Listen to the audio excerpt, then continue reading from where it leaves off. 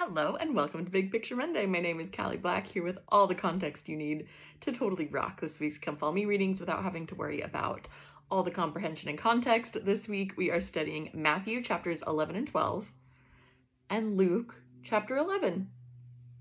Only three chapters, that's it. Seems like a pretty light week compared to some of the readings we've had recently. And to add on to that, a lot of the stories that we're studying this week are repeat stories. Not all of them, but you'll see, you'll notice a lot of repeats. So I think this is kind of a good week. It's like a little breather week. Let's repeat some of this stuff. Let's really double down and focus on what we're what we're reading as we kind of move into the next part of Jesus's ministry here.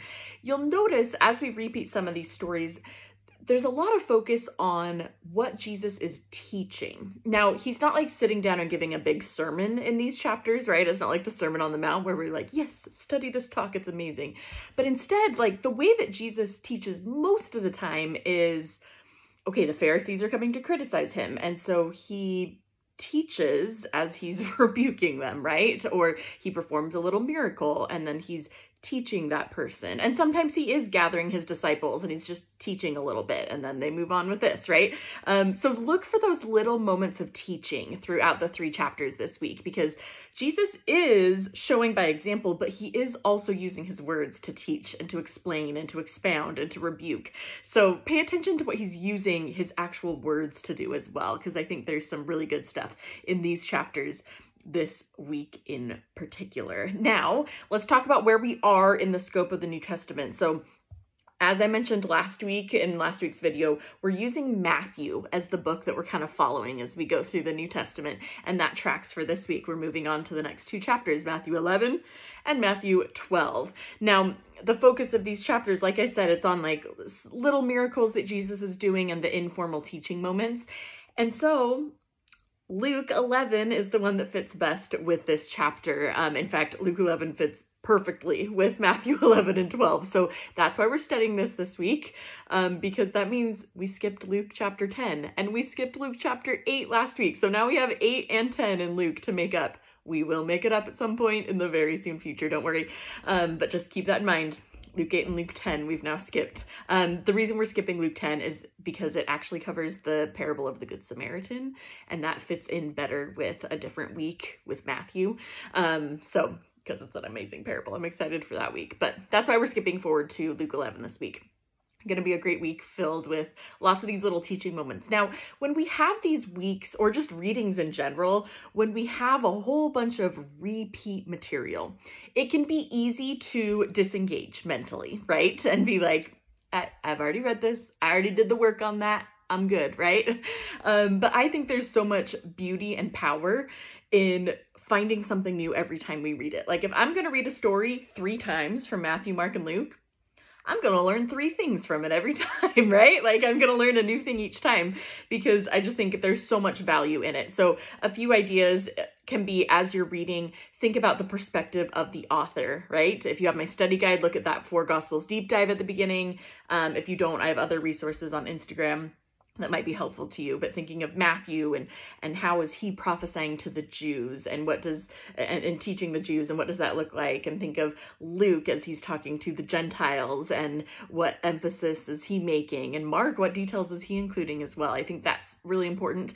But also our lives constantly change. The needs that you even had a week ago are different, maybe very different from the needs you have now. Um, and then, so inviting the spirit to just point out, like, what do you need to know from the story this week? That is a super powerful technique. But then another technique is sometimes I read a story and I'm like, that's that's the one thing I'm learning from it. And I read it again and it's that same thing that pops out. Like there's not something new for me to learn because sometimes some of the stories it's just like one lesson, right? Um so if I'm to read it 3 times, I'm going to go a little deeper with my pondering every single time. And each time I read it again, I'm like, okay, if this is the takeaway, what does that look like in my life? Okay, last time I thought about how it looked like this. Okay, how can I take that to the next level? What can I do to improve? And then I read it a third time. Okay, I've already thought about this concept a lot. How can I do even more? Are there other scriptures or resources that support it, right? So, like diving deeper into a concept every time, even if it doesn't mean adding other resources, but just sitting there and thinking, what does this really look like? how can I get even better? How can I take this to the next level? Or how can I teach my children or the kids in my Sunday school class or whatever it is, whoever you have stewardship over? How can I be a better teacher of this concept as well? Um, teaching a lesson is one of the best ways to learn a topic, right? Every talk you've given, you're like, I learn more than everyone else. And lessons that we give, I learn more than my class. It's absolutely true. So if you want to learn a concept better, try teaching it even it's to an even if it's to an imaginary group of people in your head it cements it really well and i love that. Okay let's talk about now what's actually in the scriptures for this week. Let's start with our two chapters in matthew.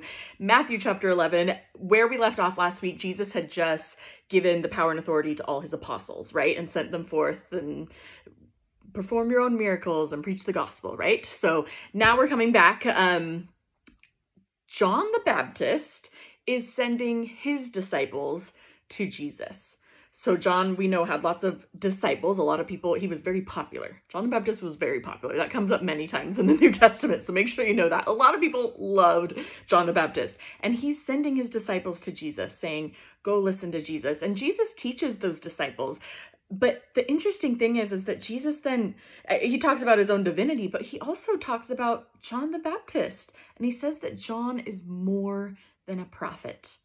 More than a prophet. John's role, even though we don't have much about him in the scriptures, to be honest, John's role is clearly absolutely essential for Jesus being able to come and perform his role, which I love. Um, you'll also notice because it's Matthew, he's referring to Old Testament prophets a lot. He refers to some prophecies about John the Baptist they're not all prophecies about Jesus as the Messiah, right? There are prophecies from Malachi and Isaiah about John the Baptist and his role. So I just love that. Jesus is like building up John the Baptist as well and and telling people that John's the real deal. Um, and of course, Jesus, he John's pointing everyone back to Jesus. I just love, there's so many lessons I think we can learn from that as well. Um, Jesus is then teaching um, a multitude. He's rebuking some cities for sins that they're committing, and he invites everyone to come unto him, and he will give us rest.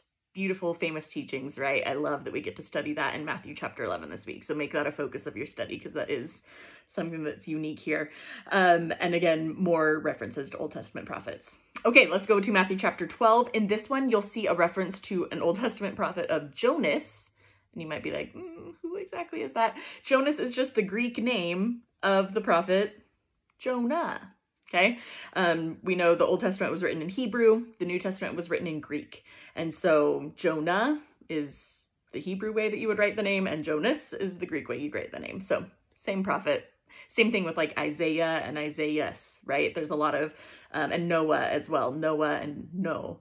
Um, there's lots of different minor changes in between a Hebrew way that you'd write it and a Greek way that you'd write it. Basically, the rule of thumb is if it looks kind of like a prophet that you're familiar with, it's probably that prophet. That's a pretty, pretty safe bet to make. Um, okay, so chapter 12, this starts off with a familiar story that we have studied a couple times already where Jesus and his disciples are picking corn from a field on the Sabbath and the Pharisees are criticizing them and Jesus teaches them, I am the Lord of the Sabbath. And then Jesus heals the hand of the man who had a withered hand on the Sabbath as well, kind of driving the point home that Jesus Jesus can do good on the Sabbath. Jesus quite literally created the Sabbath day. Um, Jesus is then healing other people. He's casting out devils. And as he does this, the Pharisees are then accusing Jesus himself of being a devil. And this is where he gives that famous teaching of, I can't be a devil because I'm casting out devils. A house divided against itself cannot stand, right? I can't be a devil and cast out devils. In fact, this proves who I am. Um, and he also teaches that the wicked people are going to be the ones who are seeking after signs and then invites anyone that if anyone does the will of the Father, then they become a part of Jesus's family. We get to self-select in that process, right? All right, then skipping over to Luke chapter 11. Remember, we're skipping chapter 10. That's just because you'll see chapter 11 aligns with this pretty well, plus chapter 10 fits better in a future chapter. Um, Jesus starts actually by giving a version of the Lord's Prayer, which is, we call it the Lord's Prayer, but it's just Jesus teaching his disciples how to pray, right? So he's giving them an example and he's teaching them how to pray. So we start with that. Uh, and he teaches them that if you ask for anything, God is a good gift giver. He will give you the good things that your heart um, desires, but you do need to do the asking part. Um, Jesus then casts out devils. He's accused of being a devil, gives that whole speech again about how he can't be a devil, and talks again about how the wicked are the ones who seek after signs. And then Jesus teaches um, about light, beautiful little teaching about light. And at the end of chapter 11, we have Jesus eating with some Pharisees, and the Pharisees accuse Jesus of not washing um, prior to his meal. And Jesus just rebukes them and says, Listen, you are so concerned with these outer motions, and yet you are not clean on the inside. And that's what matters the most. Um, it kind of ends with, with that teaching about calling the, the Pharisees out for their hypocrisy. Okay, that covers it for this week. Hey, if you are reading the one minute scripture study book, I want to include this for you. I've had some requests for this. Um, pages, days 78 through 84 if you want to stay on schedule with us, days 78 through 84 are the seven days that you can read this week to be on schedule with Come Follow Me. So that's again, if you have the one minute scripture study in the New Testament book, um, if you don't have it, get it. It's great for the rest of the year. Plus, you can also use it anytime because it's not technically tied to specific dates, but it does fit with the Come Follow Me schedule if you want to read it. Um, so look for that on Amazon if you want your own copy of that as well. Okay, I think for my personal focus question this week, um, I love the famous scriptures in Matthew 11 about coming to Jesus, all ye that are heavy laden, and he will give us rest. So I want to reflect a little bit this week. What are the burdens that I feel like I'm carrying right now? And then how might I be able to look to Jesus more for his rest from the burdens, from his assistance with the burdens. President Nelson's talk in October General Conference covered this beautifully, I think, of what real rest in Jesus is. It's not an absence of our burdens, right? That's not the rest that Jesus is talking about. So, what does that rest actually look like?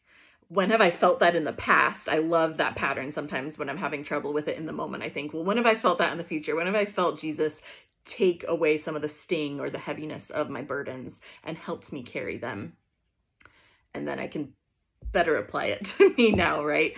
How how can I seek after that help a little bit more? How can I stop thinking that I have to do it all on my own and figure it all out and instead seek after and rely on the Savior and expect and invite the Savior to take my yoke upon himself and allow him to give me his yoke um, such a light and easy burden to have to carry, right?